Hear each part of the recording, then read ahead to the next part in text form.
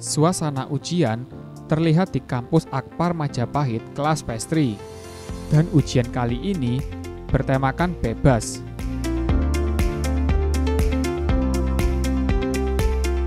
Dalam ujian kali ini, para mahasiswa diberikan tantangan untuk menyelesaikan ujian dengan kreasi dan kreativitas dari masing-masing mahasiswa.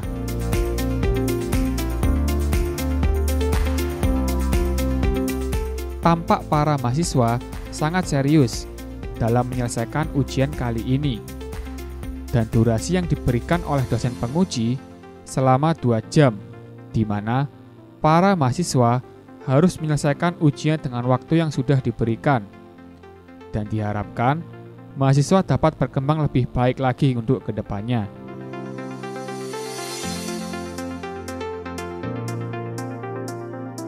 Uh, hari ini tadi saya uh, membuat the wooden itu komposisinya ada cake brownie, terus kemudian caramelized white chocolate yang dipadu dengan mango dan passion fruit gel. Harapannya ke depannya uh, saya bisa lebih baik lagi dalam manajemen waktu, terus bisa lebih kreatif, juga bisa uh, berkembang di industri F&B ini.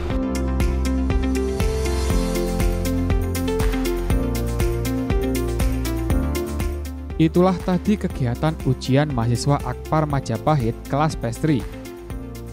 Untuk informasi perkuliahan, silakan hubungi kampus kami